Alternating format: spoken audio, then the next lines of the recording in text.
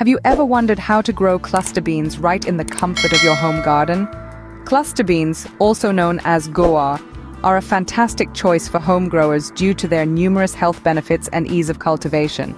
In this video, we'll walk you through a step-by-step process from preparing your soil to harvesting your very own homegrown beans. By the end of this video, you'll be equipped with all the knowledge you need to start your own cluster beans garden. So, stay tuned. Growing cluster beans begins with preparing the soil and planting the seeds. But what's the best way to do that?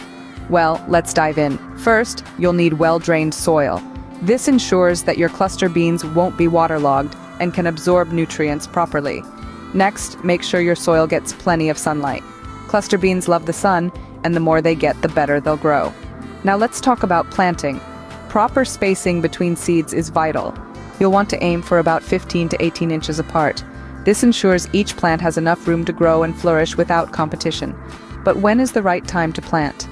Ideally, you'll want to plant your seeds just after the last frost when the soil begins to warm. Once your seeds are in the ground, it's time to take care of them and watch them grow. But how do you ensure they grow healthy and strong? Let's find out. Now that your seeds are planted, the real work begins. How do you care for your cluster beans plants to ensure a bountiful harvest? Caring for your bean plants is a delicate balance. A key aspect of this process is regular watering. Cluster beans love moisture, but they're not big fans of waterlogged soil. So ensure that the soil is well drained and water your plants diligently, especially during dry spells. However, be cautious not to overwater them as it could lead to root rot.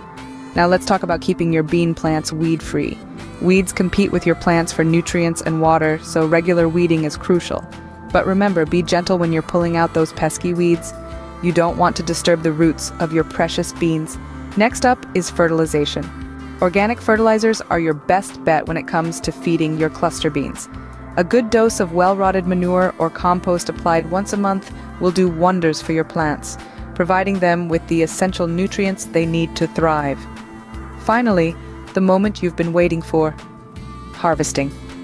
When the beans are firm and the pods are fully grown but still green, they're ready to be picked. Simply snap or cut them off at the stem. Don't wait too long though, as overripe beans can become tough and lose their flavor. And there you have it. With these simple steps, you can grow your own cluster beans right at home. Happy gardening! Happy